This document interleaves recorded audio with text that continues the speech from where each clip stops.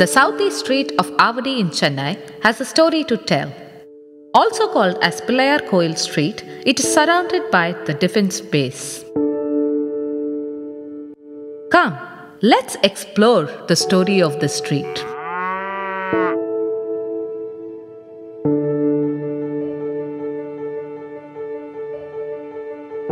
Both sides of the road are adorned by a line of houses.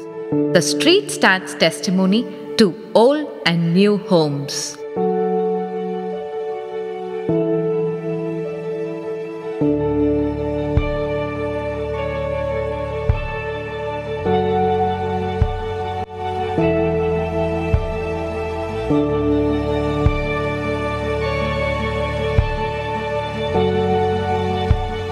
The architecture of the old houses keep the house cool.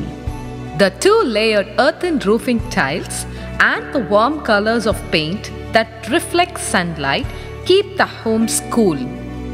The surface of the wall near the windows are embossed with geometrical patterns.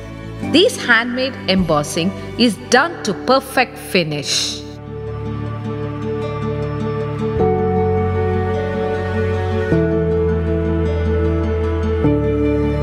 The ceiling, the small windows, and the large doors are made with thick wood. The modern houses of the street are concrete houses and sheet houses that make the street look like a concrete jungle. At dawn, the women folk adorn their doorsteps with kolam, a traditional motif that borders the street. These scientifically symmetric patterns are drawn by hand with rice powder to feed the ants and other insects. The street consists of 20 families. The residents of the street belong to the working class.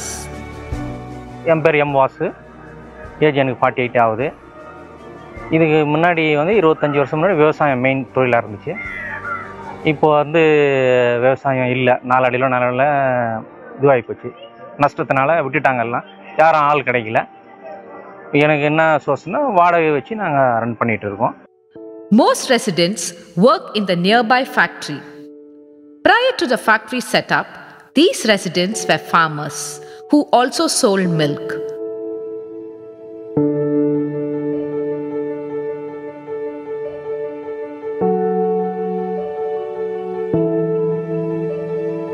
Large areas of land was cultivated using water from the nearby river.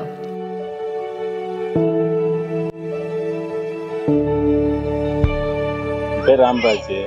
இந்த ஊரில் ஒரு முப்பது வருஷமாக இருக்கேன். இந்த ஊரில் வந்து சில விஷயம் என்னென்னா அடிப்படை தேவைன்னா வந்து ரொம்ப விவசாயம்லாம் ரொம்ப பண்ணியிருந்தாங்க. இப்போ காலத்தில் நாங்கள் இருக்கும்போது இப்போ ஒரு பத்து வயசு பன்னெண்டு வயசு இருக்கும்போதெல்லாம் விவசாயம்லாம் பயங்கரமாக இங்கே நல்லா இருந்தது.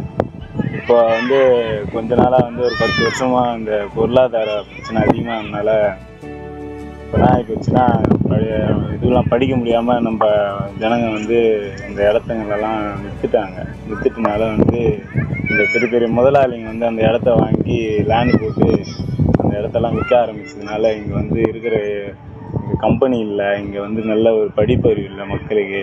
அதனால் வந்து இந்த இடம் வந்து அப்படியே நின்று போச்சு. ஒரு வளர்ச்சி இல்லாமல் பசங்கள்லாம் படிக்காதனால ஒரு வேலை இல்லாமல் ஏழ்மையிலே இருக்கிறோம் கடைசி வரைக்கும் நகராட்சி டென்ட் மீன் பிடிக்கிறாங்க. வந்து மீன் பிடிக்கிற தேவையினால வந்து அடிக்கடி அவங்க அஞ்சு வருஷத்துக்கு ஒரு வாட்டி டென்ட்ரு ஃபஸ்ட்டு கழனி இதுவெல்லாம் இருந்தது. கழனி விவசாயம்லாம் இருந்தது. அதனால் வந்து இந்த தண்ணி அதுக்காக பயன்படுத்திட்டு இருந்தாங்க. ஏரி தண்ணியை. இப்போ வந்து அந்த மீன் ஏலம் விடுறதுனால வந்து இந்த அவங்க வந்து கரெக்டாக ஏலம் எடுத்து டெண்டர் எடுத்து மீன் ஏரி வந்து வெட்டி போகுது அடிக்கடி இது வந்து டெண்டர் எடுத்தனால அவங்க அவங்க தேவைக்கு யூஸ் பண்ணி பயன்படுத்திக்கிறாங்க. மக்களுக்கு ஒன்றும் பயன்படல இந்த தண்ணி. இப்போ பதினஞ்சு வருஷத்துக்கு முன்னாடிலாம் வந்து இங்கே இருபது அடி பதினஞ்சு அடியில் பன்னெண்டு அடியிலலாம் தண்ணி இருந்தது. நிலத்தடி நீர் இந்த விவசாயம் இருந்ததுனால. இப்போ வந்து இந்த விவசாயத்தெல்லாம் விட்டுட்டு மக்கள்லாம் வந்து வேறு மாதிரி போயிட்டனால வந்து விவசாயத்தை கைவிட்டதுனால இந்த மரம் இதெல்லாம் இதெல்லாம் விட்டுட்டாங்க. இயற்கையான இதுவெல்லாம் விட்டுட்டாங்க. அதனால நான் இப்போ இப்போதான் வந்து முப்பத்தஞ்சு அடி நாற்பது அடிக்கு மேலே தான் தண்ணி இருக்குது. ஆனால் ஃபஸ்ட்டு இருந்த தண்ணியோட சுவை இப்போ இல்லை Decreasing income led to the decline in agriculture. The last 10 years witnessed the transition to the factory based work.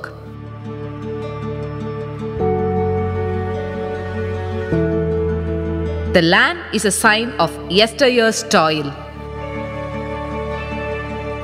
The polluted water in the river quenches the thirst of birds and animals.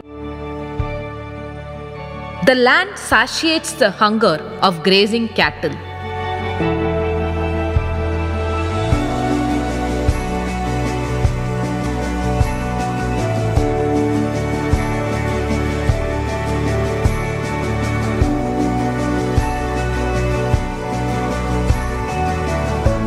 Yet the land awaits the return of its farmers.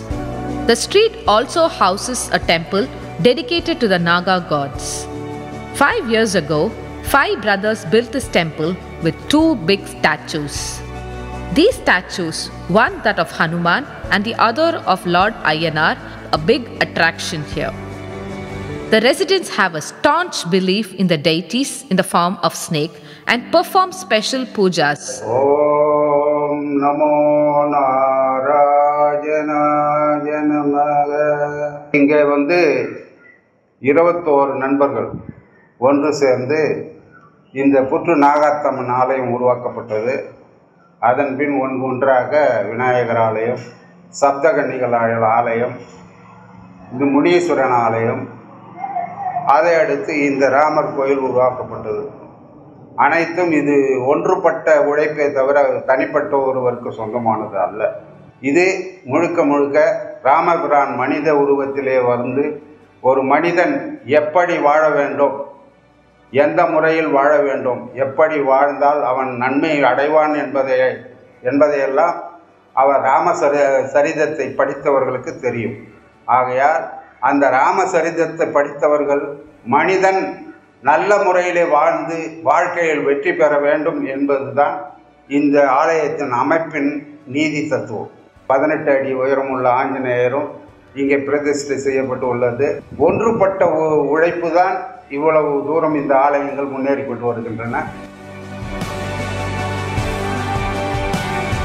The residents believe that these special pujas will grant them the wish they hope for. The street has happy and sad memories and inspirations.